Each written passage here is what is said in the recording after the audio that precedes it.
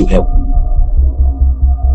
See, people has not been making it to heaven. So I was like, what is happening? He said, people has not been making it to heaven because of a repeated errors in the body of Christ. Lord said only Christian in these activities will not make it to the kingdom of God. They will eventually end their lives in hell.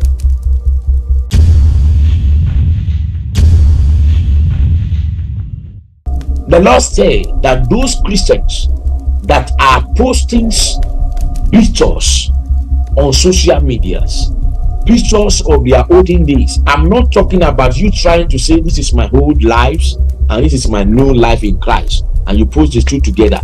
I'm not referring to that. But the pictures you have taken in the olden days there, when you are seeing the world, you still post them because you like the way it is, because you like the way your uh, you, it, it is.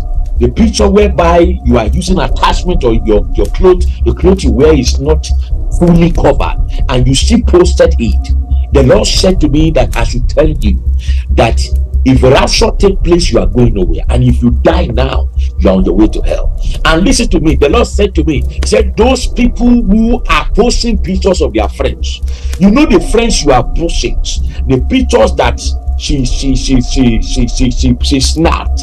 Is a she's wearing worldly things there. She's wearing attachment. She's wearing earrings. She's she's putting on her paint into her mouth powders and so on and so forth.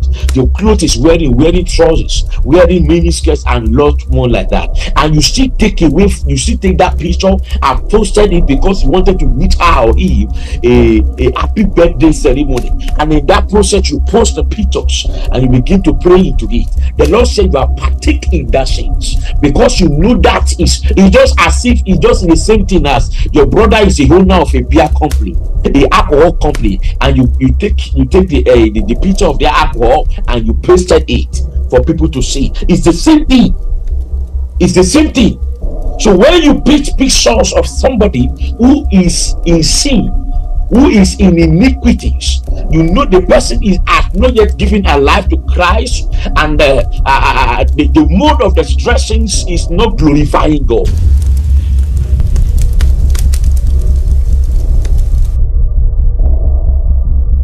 Get rid of everything that does not glorify god. It is time to restitute to the kingdom of god they will eventually end their lives in hell